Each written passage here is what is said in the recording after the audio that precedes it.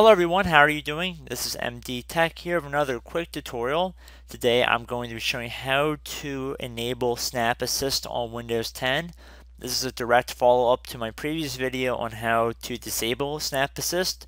If for whatever reason when you open up any window or browser and you try and snap it to the side or up to the top to blow it up full screen and you're unable to, this is probably going to fix your problem.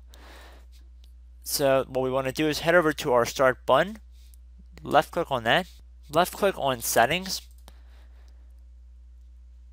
left click on system, left click on multitasking.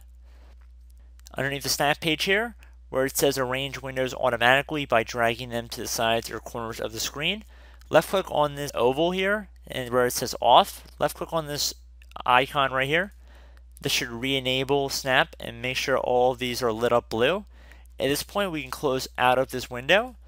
And just to demonstrate this works, I'm going to open up a new window here.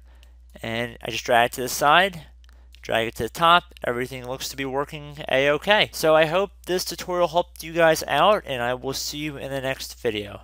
Goodbye.